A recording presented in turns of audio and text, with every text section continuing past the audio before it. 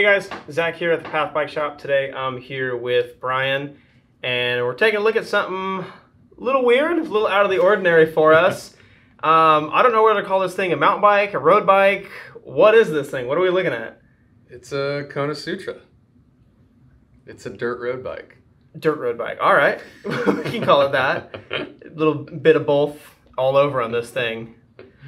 What have you done to this thing so far since you've had it? It's a little of everything. Um, yeah, like I said, the frame's a 2021 Kona Sutra. Um, the fork is a Whisky MCX uh, that just happened to be the right like axle to crown and rake for this frame and still fits a pretty huge tire.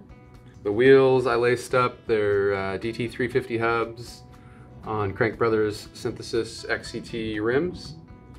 Finally found some Apex uh, AXS shifters with hydraulic brakes, which that was the main thing that I was waiting for to get this thing just perfect. Those ones are pretty good value, aren't they? They In- are. In, terms of like most of the AXS lineup, they're pretty relatively. Yeah, super affordable and they work Oh, just yeah. as good as anything else, and the brakes feel awesome.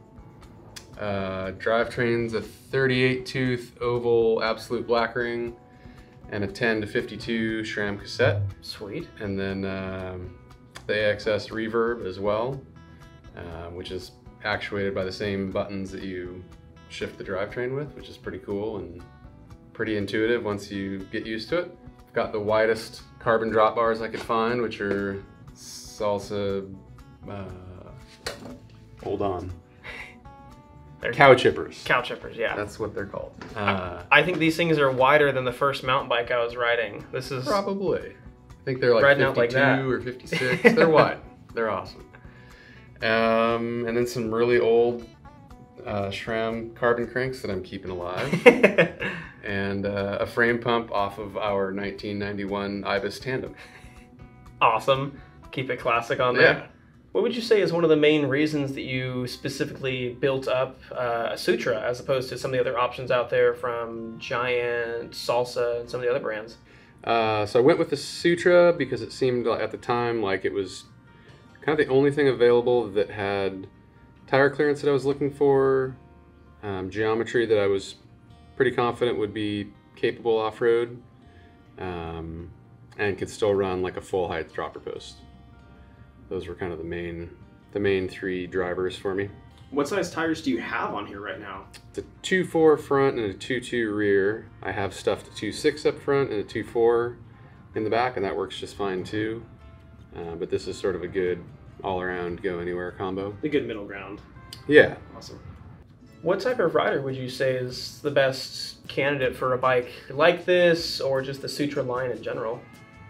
Uh, I would say it's for like anyone who wants to be able to ride from home.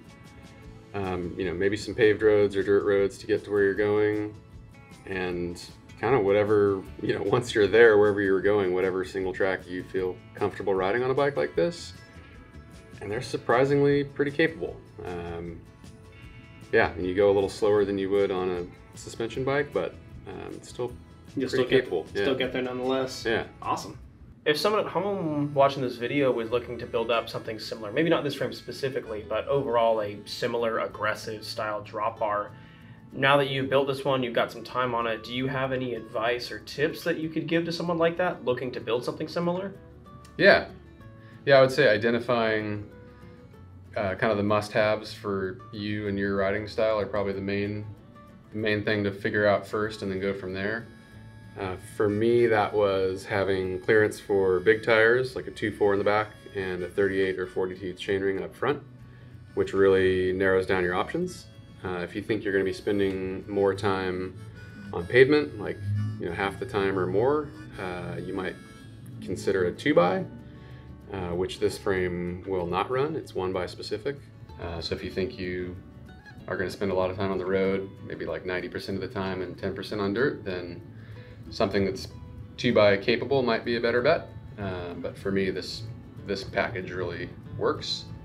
Uh, kind of checked all the boxes. Um, Yeah, it definitely sounds like it's basically exactly what you wanted, but Yeah. on someone's goals with what how they're really gonna be riding that bike, I guess it could change the frame setup that they're gonna be using. Yeah, uh, I mean, there's a lot of great gravel bikes out there, most of them uh, most of them don't have the tire clearance that this one has, and if they do, they don't have the chainring clearance. Um, so It that's kind of what makes this one pretty unique. It seems like there's usually a trade-off there between the two, but this is one of the few frames that offers both, which was perfect for you. Yeah, that was kind of the, the main driver for me. Awesome. If you're interested in picking one of these up for yourself, we do have quite a few of them in stock right now frame sets and completes. Frame sets we can ship anywhere in the country, completes get picked up in store. Go ahead and check these out online on our website, pathbikeshop.com. There's a ton more stuff we have listed on there if you're interested in similar products as well. Follow us on all the socials Instagram, Facebook, whatnot. Don't forget to like and subscribe, and we'll see you guys next time.